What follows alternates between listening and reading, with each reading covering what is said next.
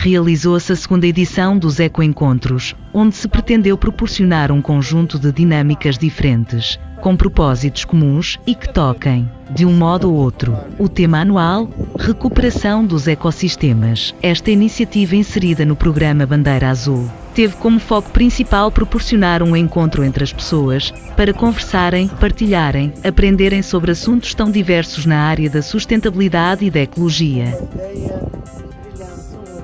Esta nova edição teve início na passada sexta-feira, 12 de agosto, com uma sessão especial de cinema temático programada pelo FEST. Já no sábado, logo pela manhã decorreu a montagem da instalação de pirâmides interativas de Plasticike com André Asnões e a sua equipa, assim como mais uma sessão especial de Adi Yogi com Susana Pessoa Neves. Ao início da tarde, em simultâneo, tiveram lugar jogos de tabuleiro temáticos e a performance Soletrar o Mar, um projeto da artista visual Paulina Almeida.